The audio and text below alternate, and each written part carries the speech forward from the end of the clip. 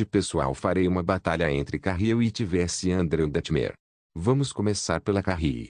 Carrie Inuit, conhecida simplesmente como Carrie, é a protagonista do título do primeiro romance de terror de Stephen King, intitulado Carrie, publicado em 1974.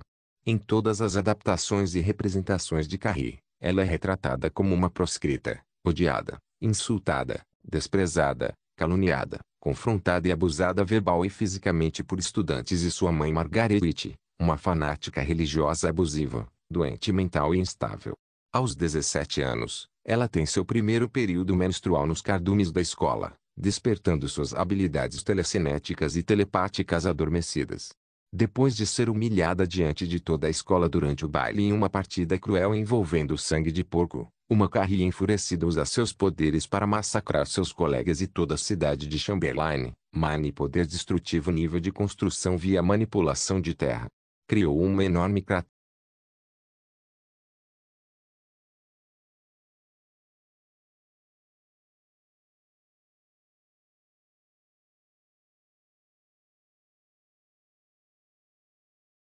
incendiou todo o edifício da escola e destruiu-a. Desmoronou a sua casa. Velocidade, desconhecida. Resistência, desconhecida.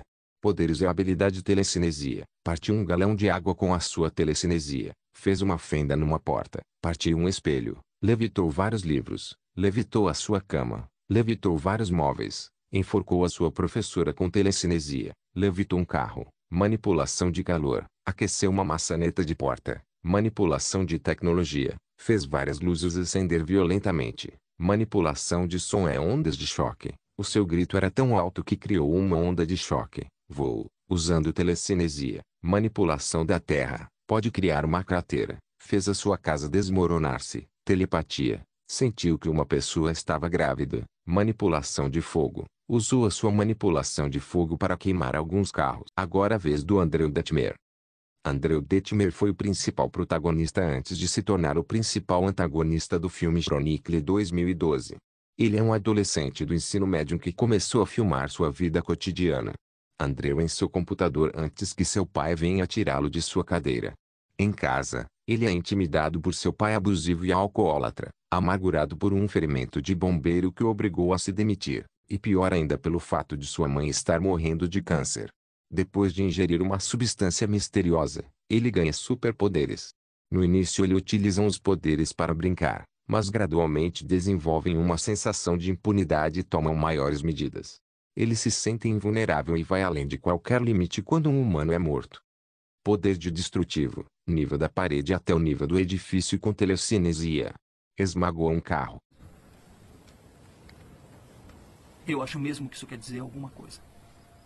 A destruição de uma parede era comparável a uma explosão. Isso é culpa sua! Você! Tá me ouvindo? Sua mãe tá... Abateu um helicóptero. Lançou um ônibus com sua telecinesia. Atravessou um hotel e bateu em uma estrada, criando crateras. Velocidade, desconhecida, mas pode voar rápido para as nuvens. Resistência, nível de parede. Poderes e habilidades. Telecinesia, parar uma bola no ar com telecinesia, construir um brinquedo Lego com telecinesia, pode mover carros, provavelmente criação de campo de força, cria uma barreira invisível com telecinesia protegendo de dano.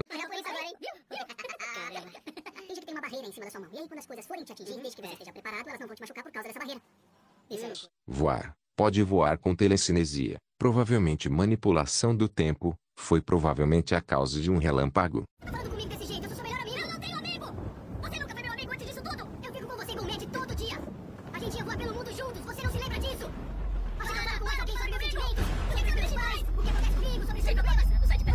Vencedor, André Detmer tem a vantagem de sua experiência no controle de seus poderes e também de suas melhores habilidades em voo. Carrier tem a vantagem na habilidade, principalmente com sua manipulação de fogo, mas em geral ambos são bem equilibrados. Mas eu acho que o vencedor é André Detmer.